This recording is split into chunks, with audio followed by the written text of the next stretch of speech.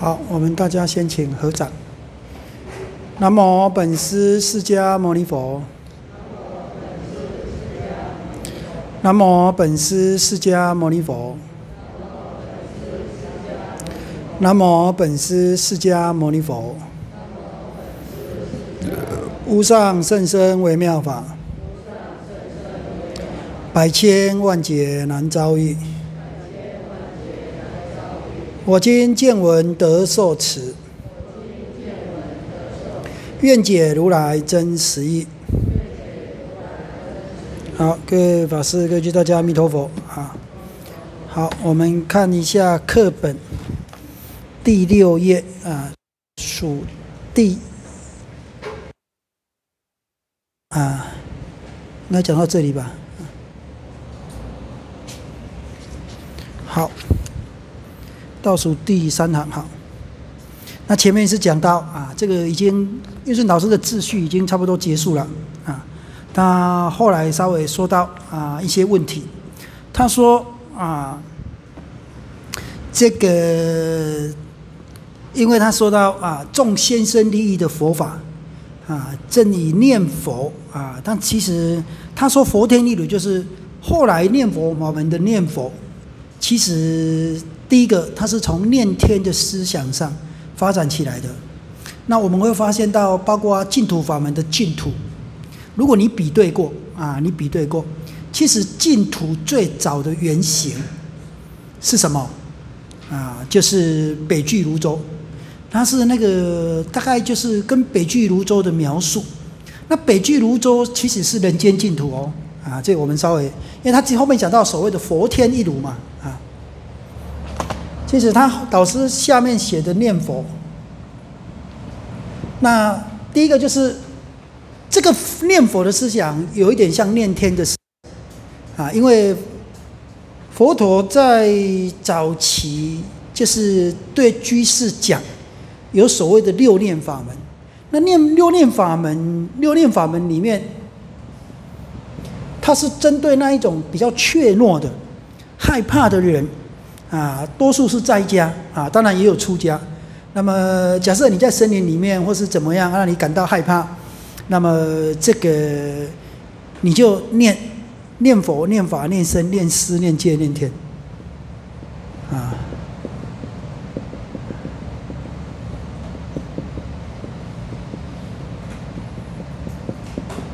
那么，他就重在所谓的忆佛、念佛。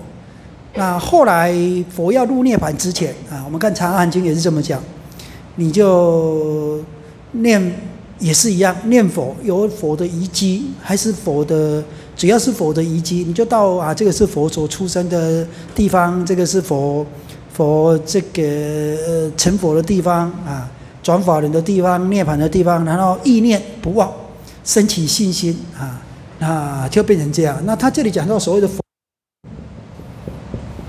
就是说，其实这里的念佛跟念天差不多。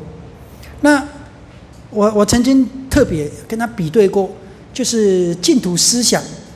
那么，因为你如果我们现在的净土主要主要是三种两种了。其实我们现在的净土，北传的，现在台湾流行的净土，基本上就是三种。一个是一个是所谓唯识学者比较强调的。弥勒净土，啊，我们先大概这样讲好了了哈。就我们把净土的东西稍微说一下，因为现在念佛就是生净土嘛，这个是结合，已经是结合了。他的佛天一炉就是你念佛跟念天差不多啊，这是观念了啊。那我们先了解，现在我们的念佛就是跟净土结合在一起，就是念佛生净土啊，就是念佛求生净土了。那佛陀早时代的念佛跟求生净土没关系，啊，那么佛在世的时候，佛在世的时候念佛是佛法生世界天啊，那么多数是为在家说的，那出家人也有啊，那，慢慢慢慢啊，就是我们说过这个念佛啊，一开始是念佛的功德啊，念佛的功德，念佛十号啊。念佛十号啊，不只是十号了啊，那多数是以十号为主。大智慧里面讲到应该是二十一啊、二十三的哈，有讲到非常多啊，就十号。那如来应供正遍知明心主，啊，依念佛的功德升起信心。那依念佛的功德做什么？有为者亦若是，啊，就是升起这样向佛学习的心。因为你念佛的功德，你向佛学习的心，那这个叫做皈依。皈依其实就是我我对于你。所拥有的成就，非常的尊重佩服，我决定向你学习。这个是皈依，原来皈依是这样，所以皈依佛要向佛学习嘛，啊，基本上是这样。皈依法就依法修行嘛，通常是这样。好，那么念佛的时候，那念佛的时候，慢慢慢慢，佛灭后开始变成念好，啊，那么这个都还是。念佛啊，那色心呢？那么这个基本上都是第一个生信心啊，生信心。那第二个色心，因为他怯懦嘛，那么所以升起，然后色心就是都色六跟净念相继嘛。好，然后之后不是之后不是不是要求生净土的话，还没有，那个时候还没有。后来慢慢慢慢都是因为这样，然后。诸恶莫作，众善奉行，自尽其意，都是这样子的啦，啊，然后后来就变成开始啊，就是生净土，讲净土的殊胜。刚才本来只是讲佛的相好，后来讲净土的殊胜，那么以往生净土为因，开始变成以往生净土为因，然后念佛的相好，念佛的名号，本来是念佛的名号，念佛的相好。那么忆佛念佛，升起信心，然后学佛修行。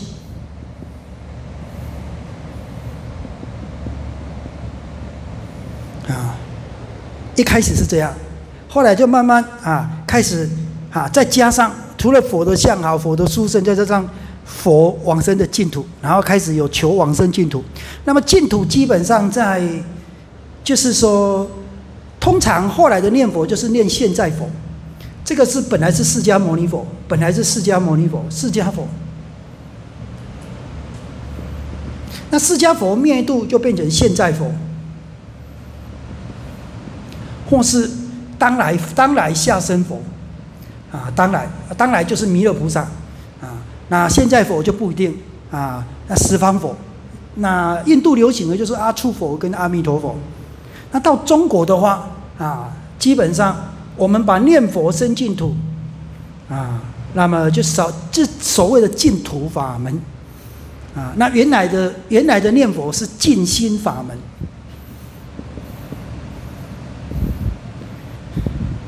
啊，原来的念佛是静心法门，静念法门的静念相继，啊，静念法门，啊，诸恶莫作，众善奉行，自尽其意，哈，原来是这样的。好，那。就是说，净土法门在中国，在中国，它基本上是三种净土，啊，就是弥勒净土，多率天的弥勒净土，这个西方的弥陀净土，叫阿弥陀，跟东方的阿处佛净土，不是东方的药师琉璃光佛净土，药师净土，这是在中国的。啊，在中国的，那在印度基本上是，这除了弥勒净土之外，弥陀净土，那这个这个是阿处佛净土，啊，在印度的是阿处佛净土，这是表字的，但是他虽然是这样，他也跟你讲啊，往生，你如果你要往生到阿处佛的净土，阿处佛国间，如果你要往生到阿处佛国的净土，那里面就有一段是这样子的，啊，就是说。这个，这个，你你一个比丘听到阿处佛的书声，他就跟佛陀讲说：“世尊，我要往生阿处那个地方那么好，我要去阿处佛国净土。”佛陀就佛陀就呵责他：“你这个愚痴的人，你以这种欲贪心要生阿处佛国净土，你是不能去的。就是你贪恋这个，你是因为那个环境好，那个殊胜，你以起这个贪恋心去，你是不能去的啊。”那他还是在这里哦。那弥勒净土也是哦，弥勒净土，你看《一切师地论》里面讲掉，类似像《金刚经》讲的“若以色见我，以身求我”，啊，但是他说此是用欲贪心来求佛，你是不能见佛的，啊，还是这样哦。你像那个唯识法门传出来的一个故事也是这样啊，就无着世亲啊，那么就是听说无着在在什么山里面啊拜拜弥勒佛，拜了多久？三年都没有见过弥勒佛。啊，然后后来他就要下山，然后就见到有人在在这个磨磨那个一个铁棍，要给他磨出磨成针。他就说：世间的人为了得到因为小的利益，都那么能都那么能够能够专心来成就。我为了要见弥勒菩萨，怎么三年见不到我就还回了呢？就退心了呢？所以他又回去拜，就这样好像连续拜了九年都见不到弥勒菩萨。啊，那。后来他就啊，我大概是见不到了，所以就就就下来啊，下来之后就看到一只狗啊，这个故事你们肯定也知道啊。然后那个狗，这个狗的这个这个肉里面都是那个虫蟑螂，他就觉得很可怜啊，他就用他又不小心，他又不敢伤害那个虫，所以就用舌头去把那个什么把那个虫粘出来啊，他他把它抓死。就是他升起慈心呐，这个时候他就见到弥勒菩萨，因为弥勒是什么慈氏，哈，就慈悲第一嘛，啊，他心相应，他才能够见到，啊，法相应才能见到佛。这个早期的净土思想都是这样哦，他重点不在见佛，啊，重点在见法，啊，好，那么后来就开始啊，就是我们中国的基本上就有药师佛，那么印度的，这个这个是表现。信为能入，智为能度，啊，基本上是这样的。后来到了中国，不是这样啊。这个是表，这个是表来生的利益，来生的利益，这个是现身的利益，啊，这药师药师琉璃光净土的法是表现身的利益，啊，腰缠十万贯，骑鹤上扬州，啊，你像这样，又有钱，现在又不用刻苦修行。来生又都可以到净土法门学习佛法，然后又可以后来又可以成佛，你看多好啊！都不用离五欲修行就可以啊。就是说，它是百而是现身的利益，它是表示来生的利益。那以前佛教不是这样的，就在印度它是这样子的。好，我们先大概知道，然后稍微讲一下净土这个概念啊，因为他讲到念佛对我们的影响其实太深了啊，就是念佛法门，十个十个出家人里面。至少有六个、七个，明清以来就这样，都是要往生净土的。一千个在家人里面，至少有九百五十个是要往生净土的。那怎么往生呢？如果这一千个人里面，大概多数都认为我只要好好念佛就能往生，啊，大概都这样啊，啊，那么发愿回向啊，在家好好念佛啊，我只在寺院好好念佛啊，那么就变成。就变成是往生的主要的条件了，啊，那如果你真的研究净土法门，它第一个，如果讲往生净土，它也不是这样讲的，啊，何况念佛法门啊，它并不是我们想象的那个样子。好，那现在再来讲这个，啊，就是说所谓的净土，啊，一般我们可以这么分呢。我刚才跟大家讲过，你如果把《阿弥陀经》的净土。啊，因为我们今天重点是《阿弥陀经》嘛，或是《阿弥陀经》讲的还不详细，讲那个《观无量寿经》里面讲的那个净土啊，就讲的多一点。啊，那《无量寿经》基本上是讲本愿啊，就是这个法善比丘的修行，他是怎么成就的啊？讲这个，其实主要是主要是《无量寿经》。《观无量寿经》很明显是比较比较后期的。就是说，《观无量寿无量寿经》是一个修行的方便，《观无量寿经》是在方便之中再开方便，啊，为什么呢？因为《无量寿经》是讲往生必备四资粮，四个资粮就是发菩提心，这个不能少。世亲菩萨往生净土论就这么讲啊，二圣总不生。二圣总不生啊！那你说《阿弥陀经》里面那些不都是阿罗汉吗？那些都是回小向大，以《佛华经》的教道理来说了啊。然后，所以第一个一定要发菩提心啊，上中下辈都要发菩提心第二个要修诸功德，啊，那你上辈、中辈、下辈，就跟你拥有什么样的特质来分。你有拥有智慧的功德，你可能剑法，你可能上辈是这样的。那么上辈是大修功德，修很多，修很很好啊。那么中辈、中辈的人是修诸功德，啊，修到一定的。那下辈的人是。多少修善，这来分的，那其他都一样，其他发菩提心，啊，那修诸功德都要，但是修功德的质量跟数量不一样，造成你的上中下辈，啊，他鼓励这样，他来鼓励你啦。好，那另外就是，另外就是啊，一向专念，回向发愿，啊，就这样。那到了到了阿弥陀经，他把它浓缩成所谓的重在心。啊，信愿行啊，基本上是这样。后来才有所谓往生三资粮嘛，这是愿行是依依这个阿弥陀经的。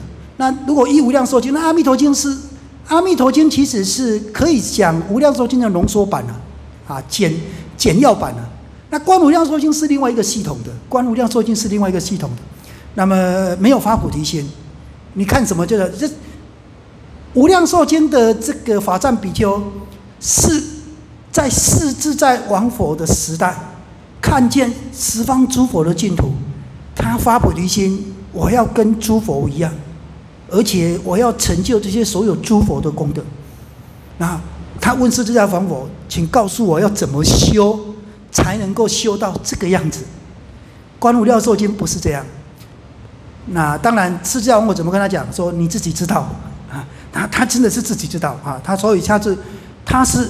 用无量解来修行，那观无量寿经不是这样。观无量寿经是他被他的儿子忤逆，那先生啊，品婆娑罗被饿死了嘛，死掉了嘛，那他就觉得我到底是前辈子造了什么孽，会生下这个儿子啊？那这个世间太苦了，他就他就意念佛，然啊，然后希望佛啊来能够见到佛。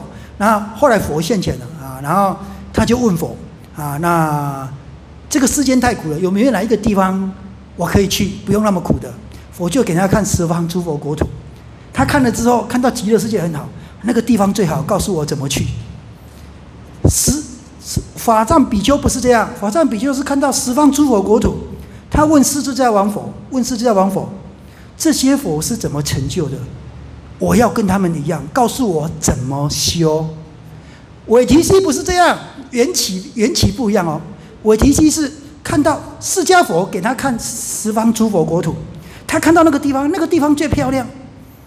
告诉我要怎么样才能去？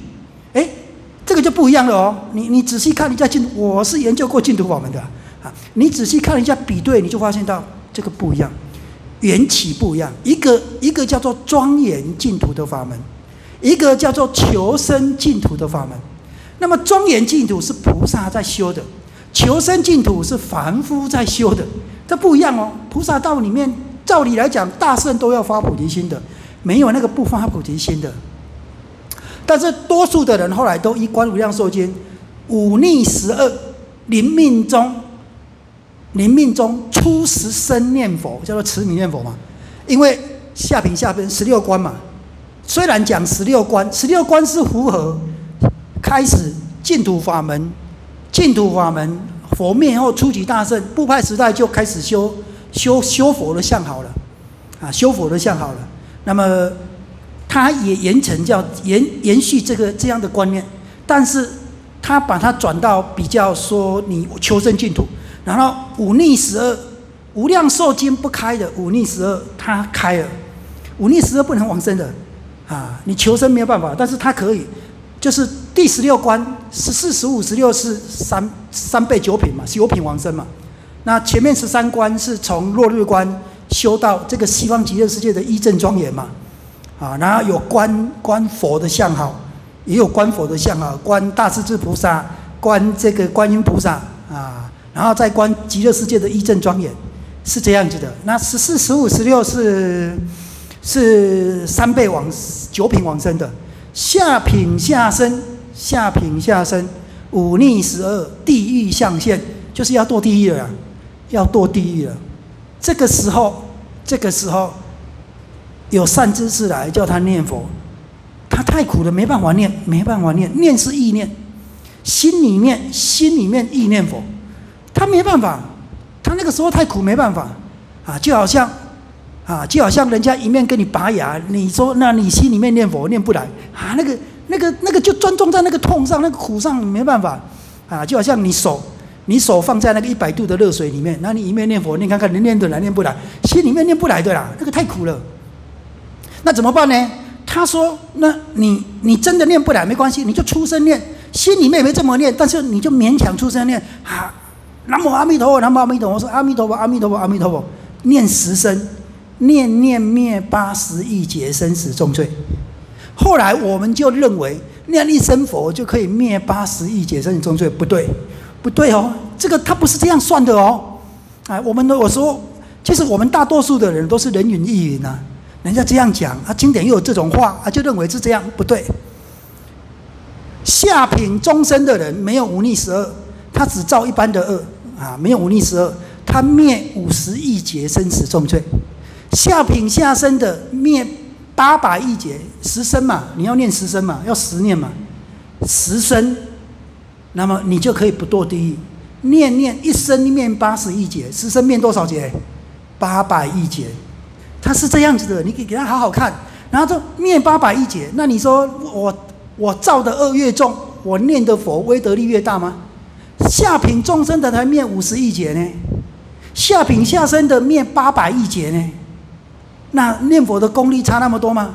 不对，那罪越重的念佛越殊胜吗？不是，不是这样子的。他是说，假设你你他因为这样，最后一刻他没有堕地狱，堕地狱堕地狱，你就要遭八百亿劫的生死重罪。那八是一个形容词而已啦，八是一个形容词，好像七有时候也是一个形容词啊。那么它就是你要遭非常多次的生死，要生死嘛。那去极乐世界就是不用生死嘛，就这一生是最后一生的，极乐世界一生最后一生，但是。观无量寿经下品下生的，并不是真的去极乐世界，没有，没有啊。为什么我说没有？他不是说那可以往生吗？去极乐世界吗？去极乐世界应该要像阿弥陀经讲的这样：第一个莲花化身，第二个，第二个，去到极乐世界可以看到诸上善人聚会一处，可以听到风声、水声、铃声，还有上面有很多铃铛嘛，罗网嘛。都会讲法，都会说法。孔雀、鹦鹉啊，那么嘉陵平且这些鸟鸟声、风声、水声、铃铛声，这一些都会怎么样？都会说五根、五力、七觉之八正道。第一个你会见佛，见到菩萨；第二个你会听到法，啊，就是佛法僧三宝具足啊，见佛，然后有菩萨，有有阿罗汉。生嘛，然后会听到法，三宝是具足的。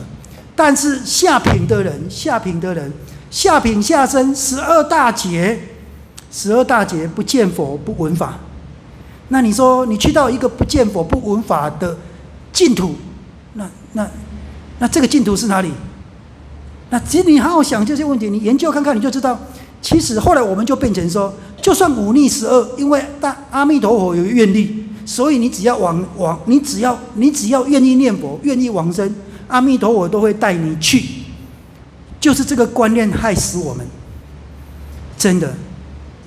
那么我们后来就变成，哎呀，其他的法门都没有用了，也用不到了啊！因为最后，最后我还是怎么样啊？我我还是要我还是要死啊！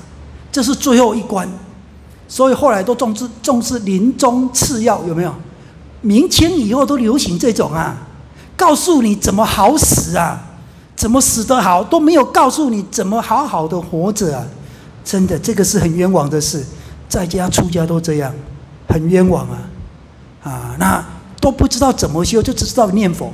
好，所有的法，所有的所有的这个所有的这个法门，难道所有的宗派后来都倒归净土？倒归净土是没有关系，只是说。你都不知道，你都认为其他的修行法门只是应景的而已啦，就是实际上用不到了，实际上用不到啊。那么你就会觉得，像像很多祖师就会引啊，印光大师也引啊，啊，那个偶遇大师也引啊，就引大集经的啊，然后就是末法一一人修行，汉一得道。末法一一人修行，第一个，这现在是末法，末法一一人修行，汉一得道，唯一念佛得度生死。啊，这个我也研究过。第一个大集经没有这一段文，啊，所以后来的人就不不举大集经了，就说经说了，因为他实际上去找没有这段文啊。那这段文是透过啊，透过几几章文章，应该是安乐集里面出来的啊，道错啊。那么透过几本大圣经典，然后把它汇集起来说的，实际上没有这样讲。那就是有末法思想的经典，那么有念佛殊胜的经典，那把这两个合集起来，就变成念佛才会造成这种殊胜。那现在是末法，你怎么修都没有用。所以念佛会有这种殊胜，就说后就变成末法一人修行，汉一得道，啊，那唯一念佛得度生死。末法的现象就是说大家都没在修行啊。末法的现象就是啊，比如说白衣就法面进经嘛，也是像这样讲嘛，啊，就白衣上桌啦，那大家都没在修行啦，没有禅定啦、功夫啦，没有智慧啦，然后，那么，然后再加上念佛书生的经典结合起来，就变成。末法没办法修行，只有念佛才是真正修行，后来就变成这样了，啊，那所以这种因为念佛对我们影响太大了，造成特别是尤其是出家众也一样，出家众也一样，在家众念佛那也很好了哈，就是信心嘛。反正他他没有什么时间去读那么多经，他也不需弘法利生啊，他也不是求解脱的。他出家，他在家本来就是跟出家不一样，啊，出家有两个重点，一个就是他要求解脱，一个就是他必须要荷担如来家业，要弘法利生，要延续正法，他必须要这样。但是后来就变成，也多数的人也都只是念佛生净土，啊，那么造成佛法越来越衰败。那越来越衰败，就变成一个现象，就变成你看吗？你看吗？现在是末法吗？都没有办法得解脱的人吗？啊，就是倒因为果了。啊，就是因为这个因，啊，所以以前也有人问，以前有一个居士问佛陀啊，说世尊啊，啊，不知道是居士问他，比丘问我忘了，就是《阿含经》里面说，应该是有一个长者了啊，他问问问释迦牟尼佛，他说为什么世尊你早期都没有自见，可是比丘都好好喜欢学习，都得解脱，那你后来你戒智的越多？成就解脱、喜欢学习的人越少，这是什么原因？啊，就是你规矩定的，戒是一条一条制的嘛，后来就越制越多，越制越多嘛。但有一个现象，就是没有自戒的时候，哦，大家都主动学习，好喜好学习，而且都得成就。那么戒越来越多，得成就的越来越少。那戒戒不就是要帮助你得成就的吗？那你这样看起来，戒好像没有帮，因为戒越多。戒越多，比丘修行的越少。没有戒的时候，一千两百五十个的时候哪有戒？没有戒啊！十二年后才自戒啊！那十二年多少阿罗汉啊？十二年后证阿罗汉的越来越少啊！啊，一千两百五十个都是在四第四年的时候，舍利佛、目犍连是第四年的时候嘛？啊，三迦舍更早，然后舍利佛、目犍连，啊，十大十大阿罗汉除了须菩提，除了须菩提。基本上，基本上在第六年之前都已经到齐了。须菩提比较晚，啊，那么这一些那个时候都还没自戒哦，那个时候都还没自戒，所以有人就问世尊：为什么世尊自的戒越多，那么比丘成就的越少？那这样应该不要自戒啊？不都这个就是导因为果？不是的，这个是因为比丘越来越不想修行。所以才需要越来越不想修行，越来越不会修行，所以才要自戒来规范他们，并不是自了戒之后比丘不想修行不会修行，而是因为比丘越来越不想修行，越来越不会修行，所以必须规范他们。你自己守规矩，还要告诉你那么多规矩干什么？那你就是，那你为什么这么不守规矩呢？因为你出家的心不一样嘛。一开始出家是要求解脱的，后来就是求什么？求过好生活的，啊，现在也有很多人这样啊。出家是因为希望能够过上好的生活、安定的生活啊，就是让生活过得好一点的。那慢慢慢慢，这些人心不对嘛，那么所以他就比较不会修行，他也不想修行，他也不会修行。那么所以要必须要跟他们制规矩，好，那没关系，但是你至少要做到这样这样这样，你不能这样这样这样。开始就有戒，一条一条的戒，一条一条的戒，啊，其实是这样。好，那这里我们说到念佛啊，念佛最早啊，我们说我们刚才讲所谓的。无量寿经的庄严庄严净土，跟观无量寿经，第一个无量寿经无量寿经法藏比丘是出家的，他是发菩提心的，那他对佛法是有了解的。如果你有疑疑，就是对佛法没有正见，不具有正见，那么当当然疑也是疑疑这个佛法对，基本上在家居士在家居士。主要信行人，信行人，他有时候会等一下会讲，有时候信行人、法行人嘛。信行人就是以信念佛，就是重信；信行人主要就是事不坏信，对佛、对法、对身具有完全的正见，正出果是事不坏信；法行人是得法眼净。啊，见缘起啊。啊，那么对佛法有疑，在《无量寿经》里面，它是会升到什么？升到边地的，就是胞胎受身，五百岁，五百岁不见佛，不闻法，好像在天上一样啊，好像在北去如洲。等一下，我们再来讲北去如洲。观无量寿经。他是说升到净土里面，阿弥陀佛的净土里面，但是十二大劫不见佛不闻法。十二大劫出来之后，观音菩萨才叫他发菩提心。那那你说，你好好想，那个下品下生念念念八十一劫是很重罪的，这个是升到净土吗？升到净土，十二大劫不见佛不闻法不闻声，那个还能叫净土吗？啊！但是多数的人不管那么多啦，他就是告诉你，你念佛一生。就灭八十一劫生死重罪啦，不是这样算的，不是这样算的。好，那我们再来看这个净土，基本上净土基本上啊有四种净土啊，我们就现在现在先讲啊，其实这个是要放到净土法门那边讲的啊。我们现在先讲人间净土啊，那么声闻净土，这个人间净土有凡有圣的，有凡夫的净土啊，那么也有。也有所谓的圣者的，凡圣同居土的，就是凡夫的净土跟凡圣同居土。你说凡夫也有净土吗？有啊，北俱泸州就是啊。北俱泸州没有佛法嘛？北俱泸州在我们这个世界内哦，它没有佛法哦。也因为这样，所以韦提菩萨不去嘛。啊，北俱泸州。啊啊，那么一般不是一般是北俱泸州队哈，那准提不不是准提菩萨讲错了，这个是韦陀菩萨，韦陀菩萨叫做三州嘛，啊，他就是没有去，因为北俱泸州没有佛法，所以他就不去，不去那边护法，啊，那三州感应嘛，啊，其实是这样。那凡圣同居土啊，那个是以后弥勒再来的时候，弥勒来这个人间的时候。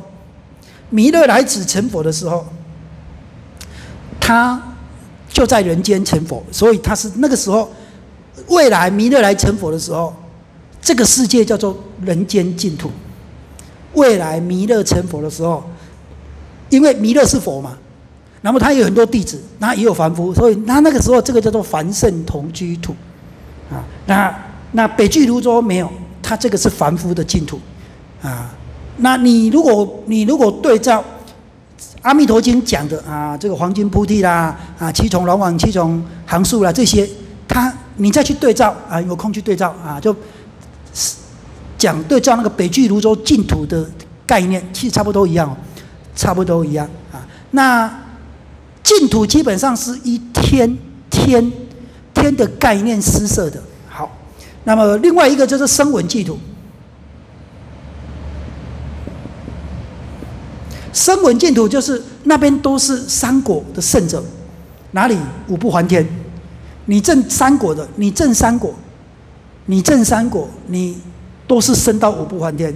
色界的无烦无乐善善见善现色就见五不还天，纯是声闻净土，那个是声闻净土啊。那其他的出果二果，升到刀立天呐、多帅天呐，那个像现在的多帅天，像现在的多帅天。它是菩萨净土，它又不一样啊。那像刀立天也有出国恶国的啊，但是它不能叫净土啊。那菩萨净土，菩萨净土就是现在的多帅内院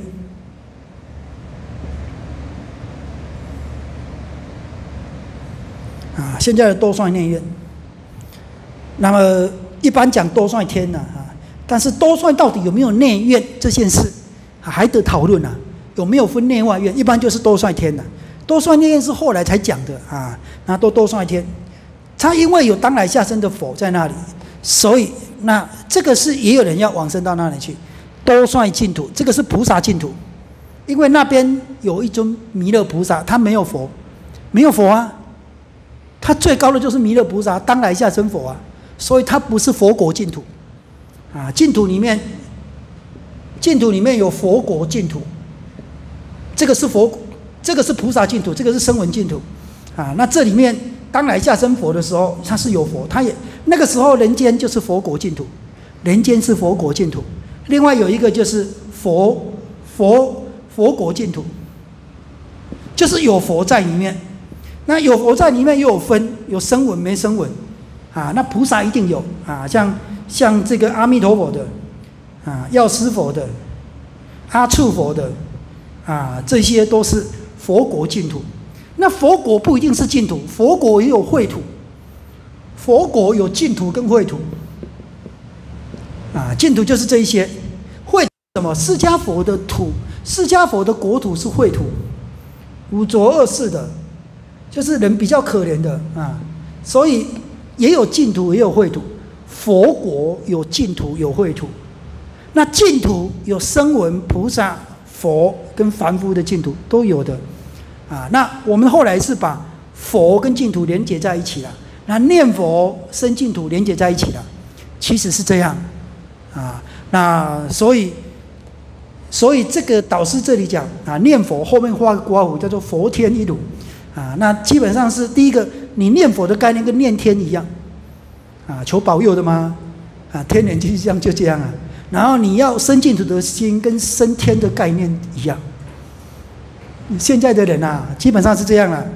好，那我们来看啊，就是刚好讲到这个哈，我们就顺便啊，顺便把这个稍微说一下啊，让大家稍微了解一下啊，打个谢块料盖起来了哈。好。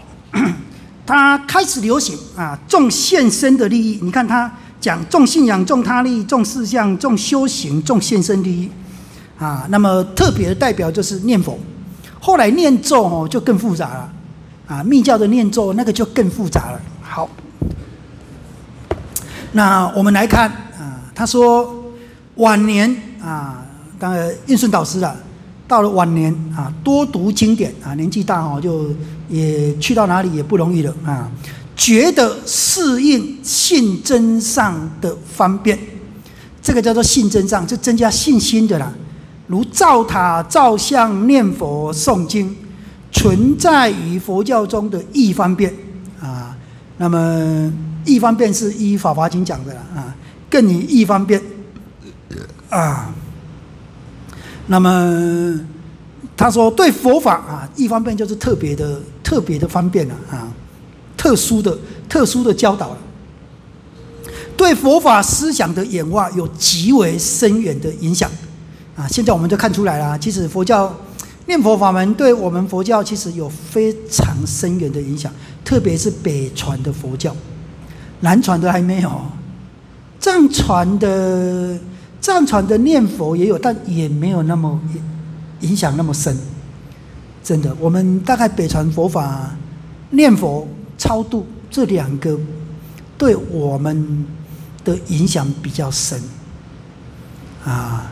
那就是佛法本来是重在这一生，叫做此时此地此人，修行就是现在，就是自己修行啊，就是这个地方，就是现在，就是自己，叫做此时此地的人。他种的是这个，后来就不是了，种在未来来生啊，来生得利益。而不是现现在得利益，现在修，现在得利益，先种在现在念佛，来生得净土，种来生，然后种什么？啊，就是种他方啊，不是在这个地方，在他方佛果，或是到弥勒净土，到天上啊，到东方啊，到西方啊，到南方啊，那不是自己修，我念佛，佛加持我，佛的本愿力让我可以去。他他就变成这样，就他力，不是不是重在自己怎么修，而是重在这个佛有没有发大愿。他有发大愿，我才能去；其他的佛没有发那么大的愿，我去不了。那我就要依这个佛发的愿，我随我相应于他，而不是我自己发大愿，我自己要修啊，而不是因为。我们能够去多多数的念佛的人都是认为，我们能够去净土不是自己的力量，是阿弥陀佛的悲愿。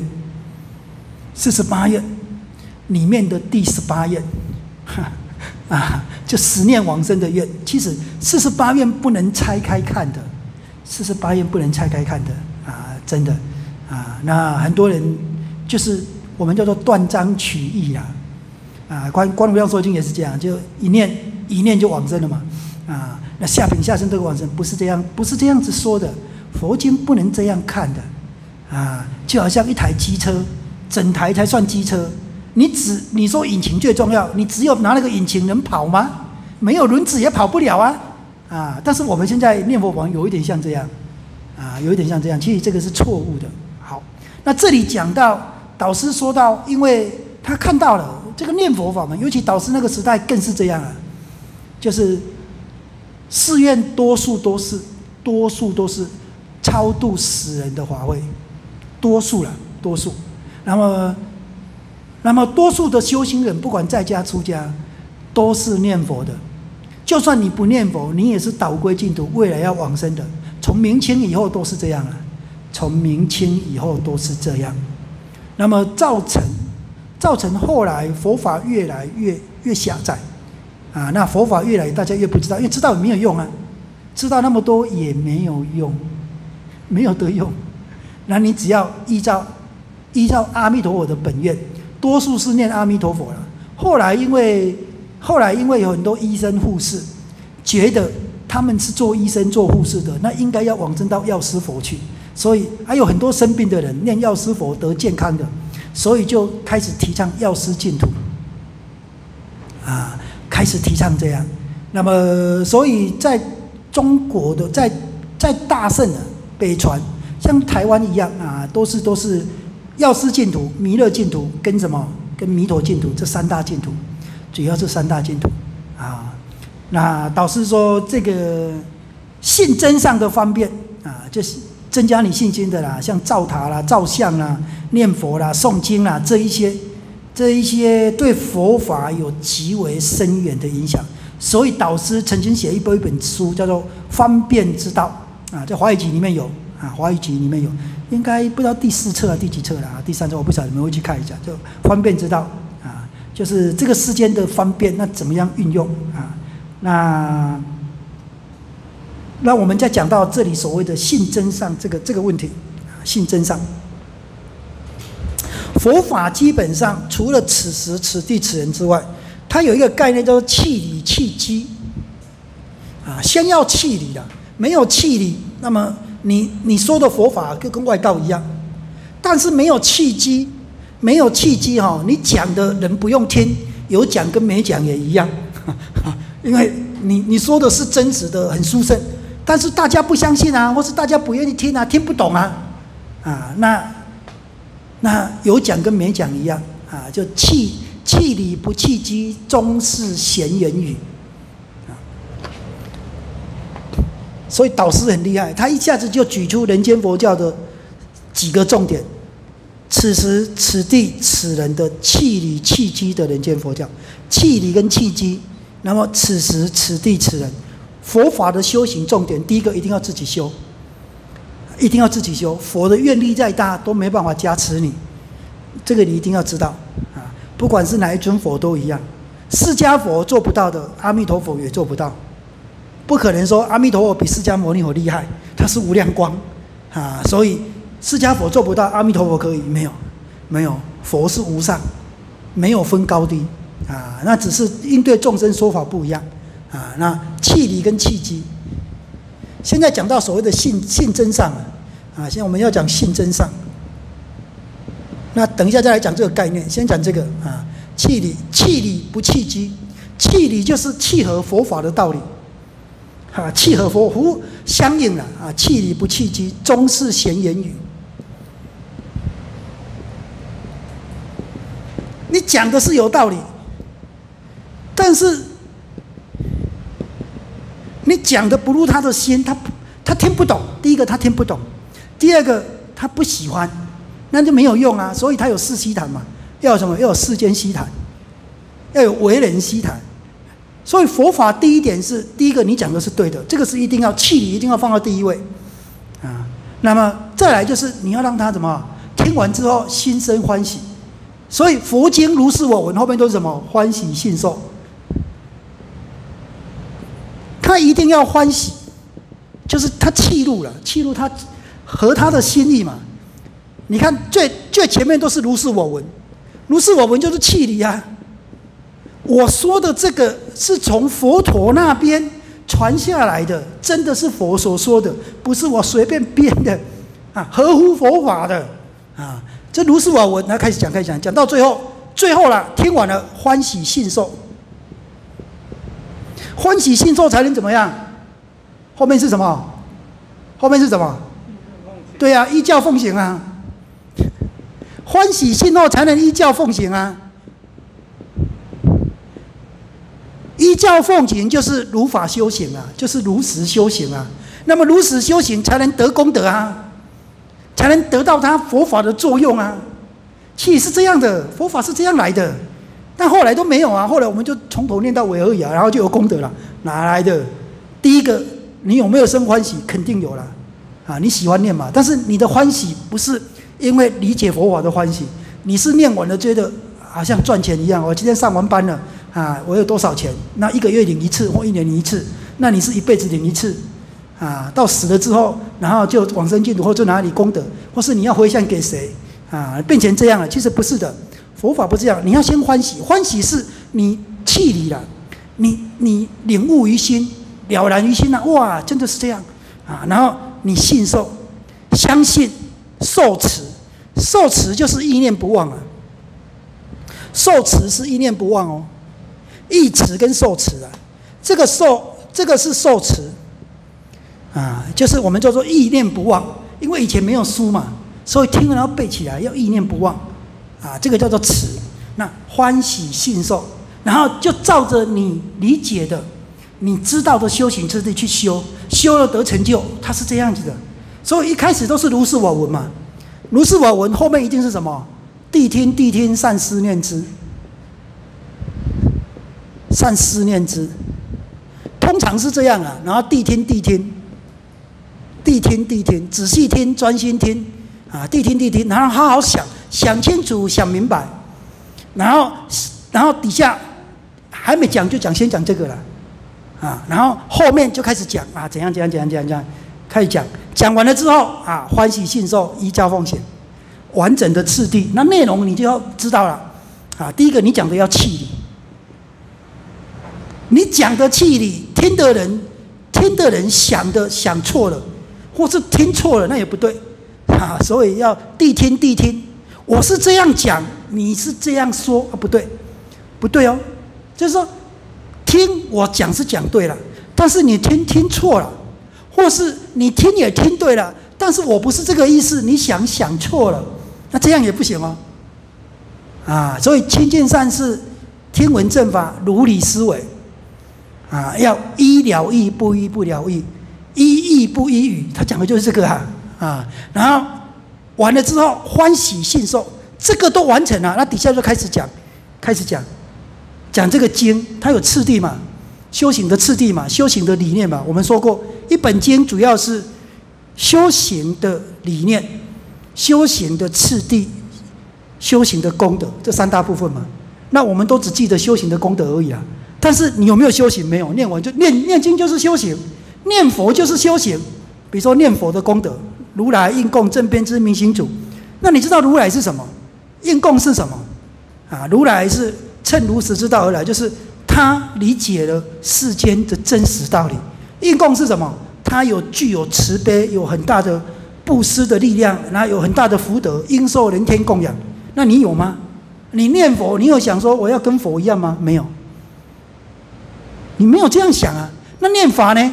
念法你念完了就算有功德了。你有想说他教我这样修，我就必须要这样修？你有这样讲吗？没有。那所以你有这个功德吗？没有。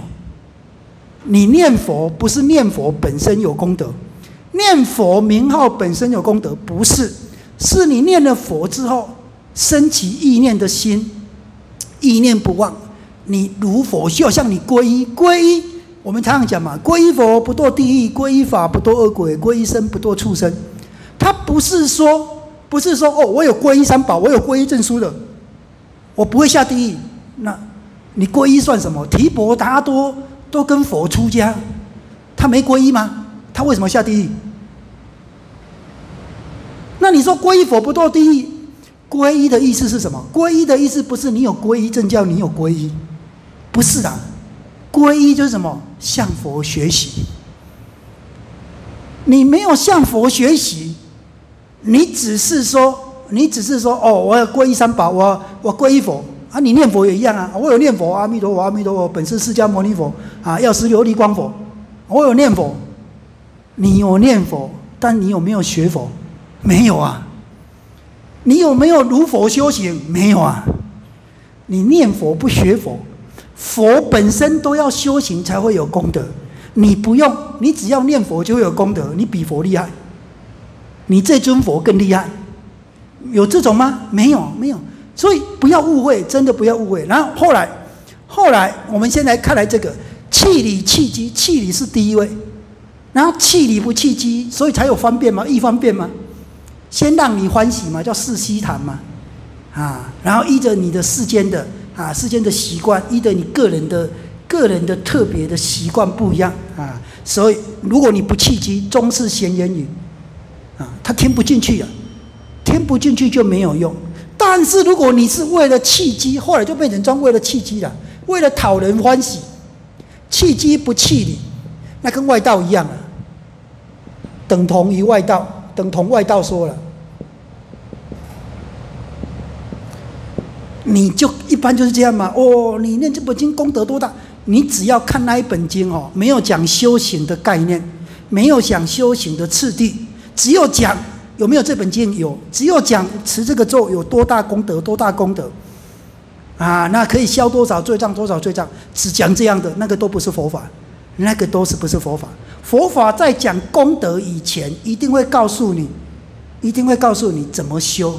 如果只是念佛，把这本经念完，很多经是这样的哦，那个都编的，不可能，佛陀不可能讲讲这下的话，你听不？啊，不讲个啥？跟他讲，你都卖，你都卖关他姐，你家里都是对啊啦。啊，都无修有无波比，没有没有这种事啊。那所以佛法里面基本上是气理跟气机的。那这里我们再把在五分钟就好了，把这讲信真上，信真上。讲到这个真上啊，一般来讲啊，一般来讲，一般来讲，大圣的，现在是讲大圣的。如果是小解脱道里面叫做性行跟法行，解脱道里面是性行人、法行人，主要是这两类。大圣里面有所谓的性真上、悲真上、智真上，以及智真上这三种人。啊，这三种人，那如果讲三真上的话，那是《阿含经》里面另外一种说法，叫做界定位、界真上学。心真上学，心就是定，然后会真上学，啊，基本上是这样了，啊，那现在讲的是这个，啊，好，我们先下课，等一下再继续讲。